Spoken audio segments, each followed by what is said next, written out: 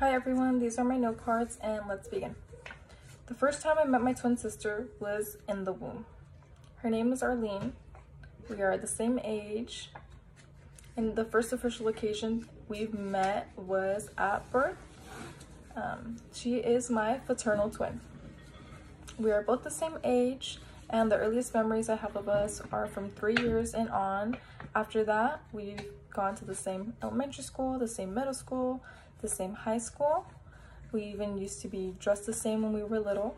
A really cool fact about us is that sometimes we are thinking the same thing or we end up saying the same thing at the same time and it freaks people out a lot.